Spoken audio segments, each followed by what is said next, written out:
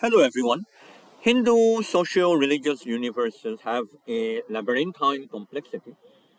If you study these universes, specifically at the grassroots, which I often do, you may feel lost, which I often do too.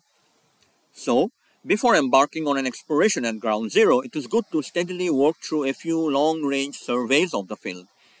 Such introductory overviews contextualize specific texts, traditions, and teachers and enable you to gain a sense of narrative. That is, you begin to understand why someone in, say, 1650 CE was likely to express a theological viewpoint in a certain way, whereas someone in, say, 450 BCE had formulated this viewpoint in quite a different way. The umbrella term Hinduism encompasses a diverse and even divergent set of traditions.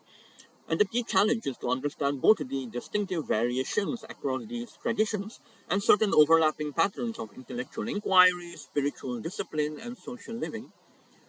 The introductory text by Klaus Klostermaier, Hinduism, A Short History, is a good starting point. You can build on your understanding with the more detailed introductions by Gavin Flood An Introduction to Hinduism and Julius Lipner, Hindus, their religious beliefs and practices. Central to many Hindu visions of the human self, Atman, the divine self, Paramatman, Brahman, and the complexities of the everyday world, Samsara, is the Bhagavad Gita, and the volumes by Catherine Robinson and Chakravarthi Ram-Prasad are helpful guides through its exegetical textures and socio-political locations.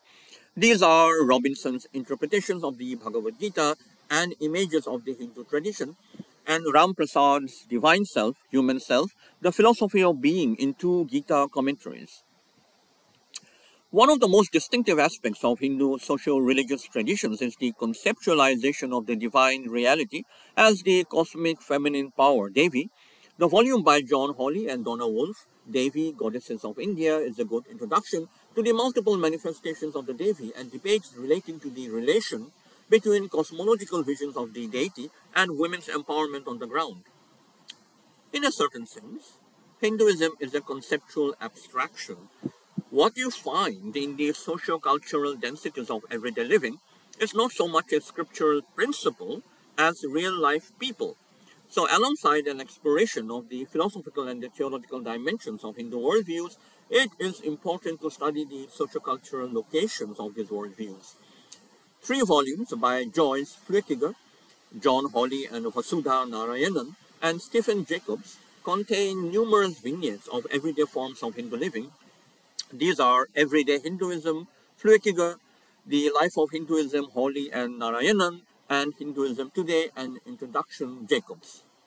For around two millennia, Hindu visions of ultimate liberation from worldly finitude have coexisted sometimes in an uneasy tension with Hindu imaginations of the social polity in the here and now.